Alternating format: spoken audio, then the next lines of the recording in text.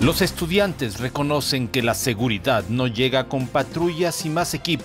Saben lo que es vivir con miedo y vulnerables ante la delincuencia, como el multihomicidio de cinco alumnos de medicina que estremeció a la comunidad estudiantil darnos cuenta de cuándo es prudente hacer ciertas acciones, cuándo es prudente estar en ciertos lugares y lamentablemente es algo que ya hemos normalizado. Entonces, este, sí es, es un pequeño miedo que siempre está ahí, pero como te reiteraba, yo creo que no es un miedo que solamente es en Celaya, sino un miedo que vivimos todos los mexicanos en general, sabiendo que en cualquier momento podemos estar en un momento no indicado cuando pueda suceder algo que nos pueda arrebatar la vida.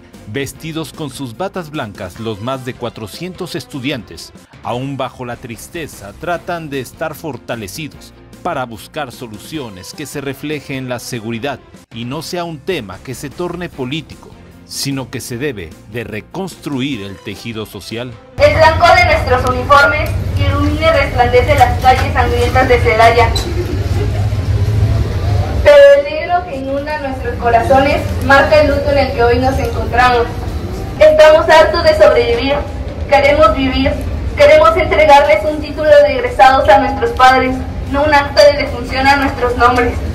Los estudiantes marcharon con dolor de la pérdida, pero también con la fuerza de la unidad, por los amigos caídos, exigieron un mañana sin violencia.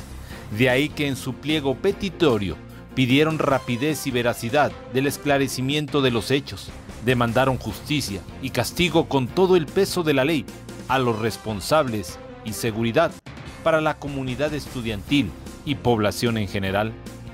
Gobierno del Estado brindará el acompañamiento y apoyo a las familias de los cinco jóvenes que fueron asesinados la tarde del domingo en la primera fracción de Crespo, donde ya se tuvo el primer acercamiento y se cubrió los gastos funerarios.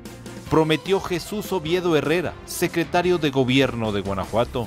Somos solidarios con las familias, que hemos venido trabajando con las familias para ayudarles, apoyarles y ser solidarios con ellos. Afortunadamente hay un, eh, un buen entendimiento, creo que tenemos que trabajar conjuntamente para seguir generando mejores condiciones en todas partes.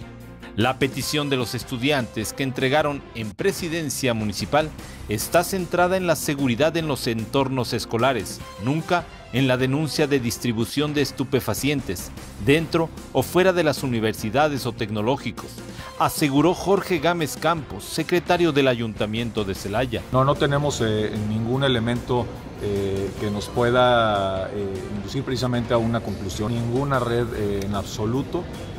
Realmente aquí los planteamientos que nos están haciendo los estudiantes, que son por supuesto legítimos, estos planteamientos, eh, van con relación a eh, seguridad en, los en el perímetro de las universidades. Pero en Celaya, lamentablemente no es la primera vez que un estudiante pierde la vida por la delincuencia.